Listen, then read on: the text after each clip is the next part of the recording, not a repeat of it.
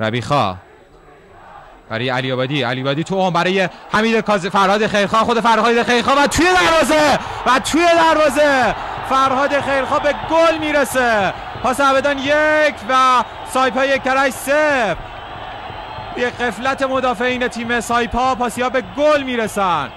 چه پاسی رو داد وحید علی آبادی و چه ضربه ای رو زد فرهاد خیرخواه ناکامی های خودش در هفته های اخیر رو جبران می‌کنه فرهاد خیرخواه دقایقی که مجید ایوبی در بازی نبود موفق شدن به گل برسن. این هم ای که فرهاد خیرخواه تک به تک شد با شیخ ویسی و ضربه خودش رو زد و تو به گل تبدیل شد. نباید از پاس زیبای وحید علیابدی به سادگی گذشت. فرهاد خیرخواه خود لطیفی. ثابتو. حالا تو اون برای مهدی خیری خود مهدی خیری به دنبال توپ یک لحظه. لیز می‌خوره دفاع تیم پاس همدان. حالا در مورد جریمه مهدی خیری تو اون و گل. و گل و ابراهیم صادقی دومین گل این فصل خودش رو می‌زنه روی اشتباه مدافع تیم پاس همدان که مهدی خیری رو به راحتی حساب موقعیت کرد. پاس یک سایپا یک. کاپیتان تیم پاس.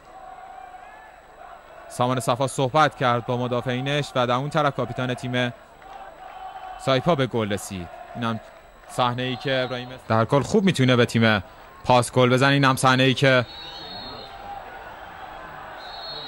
سایپایی ها به گل رسیدن. ضربه ای که زینالی زد و برگشت رو انصاری فتح. وحید علی آبادی. تو برای مهدی آقا محمدی خود مهدی آقا محمدی به توپ هم می‌رسه. خود مهدی آقا محمدی یک ضربه توی دروازه و توی دروازه فرهاد خیرخواه باز هم به گل می‌رسه و پاس رو به گل میرسونه. دو گل رو می‌زنه و شادی رو به ورزشگاه میاره فرهاد خیرخواه باز هم اشتباه از مدافعین تیم سایپا باعث میشه که تیم پاس به گل برسه. اینم چهره مقموم محمد مایلی کوهن که از روی نیمکت بازی شاگردش رو نگاه می‌کنه.